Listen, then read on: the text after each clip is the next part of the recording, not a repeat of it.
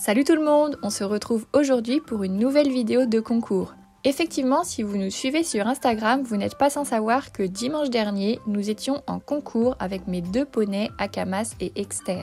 On était en derby cross à Chaumontel et j'avais engagé Akamas en poney E Elite et Exter en poney E2. Pour Exter, ça allait être son premier concours avec du cross depuis 2020, date de son dernier CCE où malheureusement on n'avait pas été jusqu'au bout du cross. Et c'est d'ailleurs suite à ce concours que j'avais pris la décision d'arrêter le complet avec lui. Mais grâce au travail de ces dernières années et à nos sorties en dressage pur qui lui ont redonné confiance en lui, j'ai osé retenter un concours de cross avec lui. Bon, j'avoue quand même que dimanche, à la reco, j'étais pas du tout sereine, je pensais même que l'on ne finirait pas le parcours. D'ailleurs, voici tout de suite la reconnaissance de ce parcours de Derby Cross Poney E2.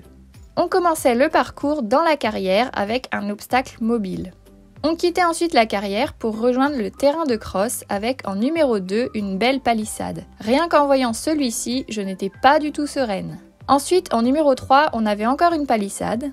Puis en 4, on avait cette maison assez grosse que les poneys élites avaient aussi. Et j'avoue qu'elle me faisait bien peur. On continuait au bout du terrain de cross avec le 5, un vertical avec pas mal de pieds, et presque le même profil pour le numéro 6.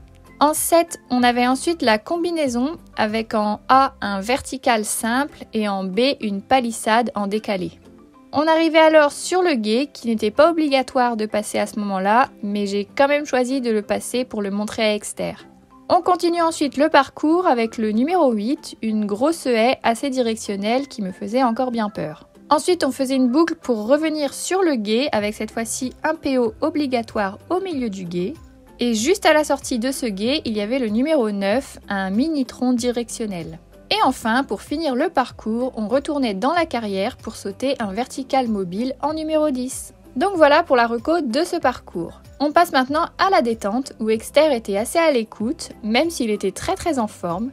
Il essayait juste de m'emmener un peu du côté de la porte de sortie, comme il sait si bien le faire, mais rien de bien méchant. Sur les sauts, par contre, il était vraiment top, pas une seule hésitation, il m'emmenait bien sur les barres de lui-même. Donc nous voilà maintenant dans la boîte de départ et je vais vous laisser avec la double vidéo caméra embarquée et caméra classique comme d'habitude. Allez Coco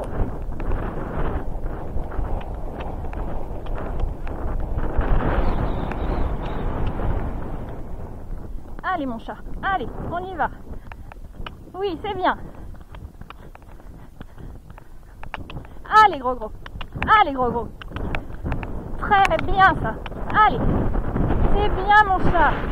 C'est très très bien. Doucement, doucement. Celui-là, celui-là, celui-là. Oui. Oh. Doucement. Doucement, gros gros. Très très bien mon chat. Oh. Doucement.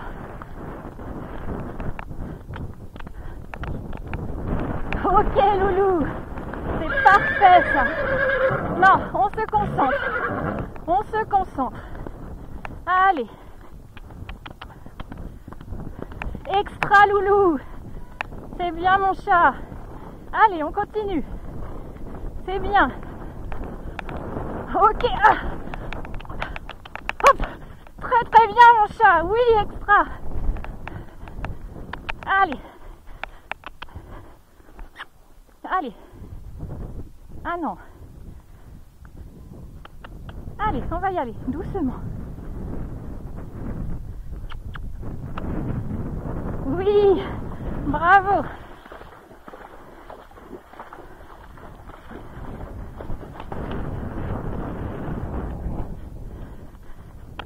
Allez, on se reconcentre. Hop Oui Oh Doucement, doucement, doucement. Gros, gros, doucement. Oh. Oh. oh. Allez, on y retourne. On y retourne. Oui. Super ça, mon chat. C'est très, très bien.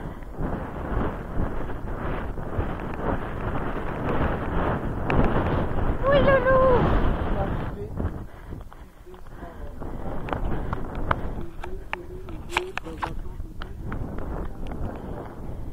Donc voilà, comme vous pouvez le voir, nous rentrons sans faute aux obstacles. Je suis vraiment trop fière d'Exter qui, même s'il était un peu stressé de partir tout seul sur le cross, est resté parfaitement à l'écoute et même hyper guerrier devant les obstacles.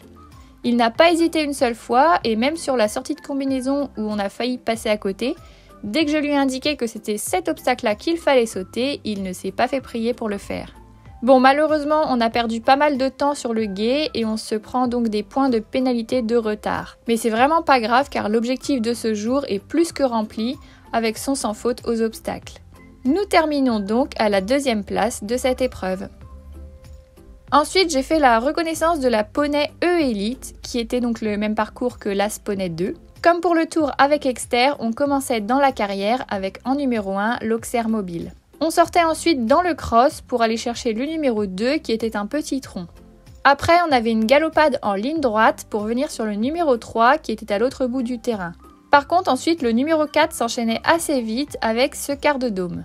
Pas très loin derrière le numéro 4, on avait un petit directionnel en numéro 5. Après ce directionnel, on devait tourner assez vite derrière pour venir franchir la première combinaison du parcours qui était composée de deux obstacles tonneaux. On continue ensuite avec un bel obstacle de volée en numéro 7. Puis de nouveau, on avait une petite galopade pour aller chercher le 8 qui était cette charrette à la sortie du terrain de cross. Juste derrière la charrette se trouvait le numéro 9, un petit coffre dans la montée. On devait ensuite faire le tour de la carrière de dressage sur la butte pour récupérer le numéro 10 qui était un énorme saut dans le vide. Ça ne paraît pas du tout en vidéo mais je peux vous assurer que la réception était presque à la verticale. C'était clairement un obstacle à monter comme un contrebas. Bref, on revenait ensuite dans le terrain de cross avec la combinaison numéro 11 composée de trois éléments. Donc le A c'était ce petit dôme. En B, on avait le tronc en haut de la butte et en C, ce très joli banc en bas. On poursuit le parcours avec le numéro 12, un directionnel.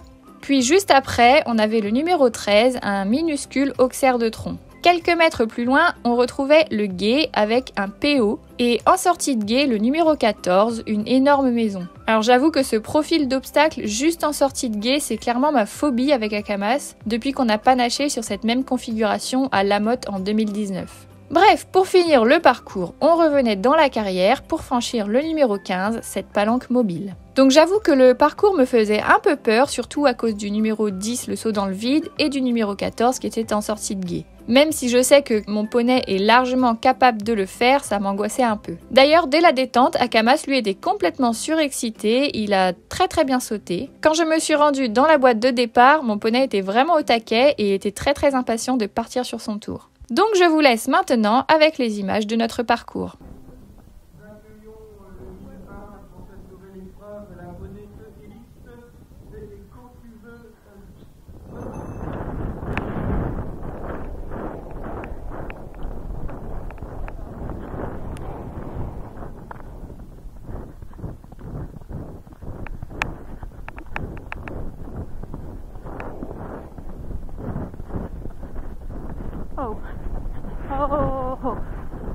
Oh,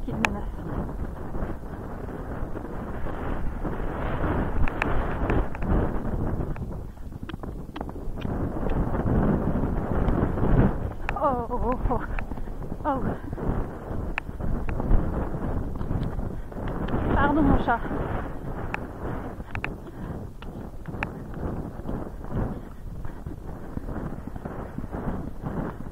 Oh.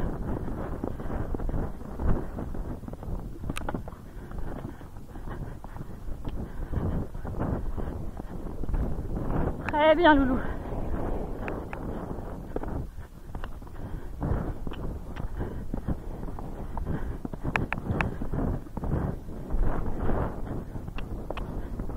Allez, Younes.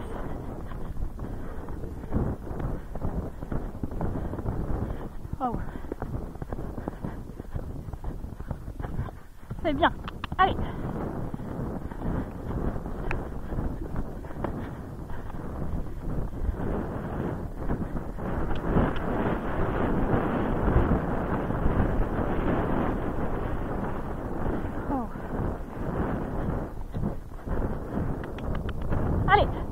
Viens mon chat.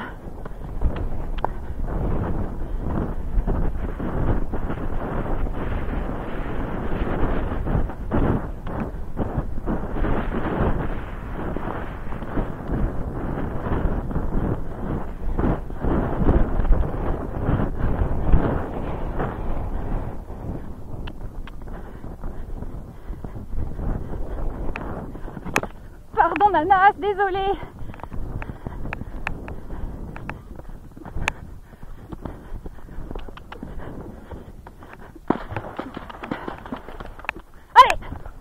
bonhomme C'est bien, mon chat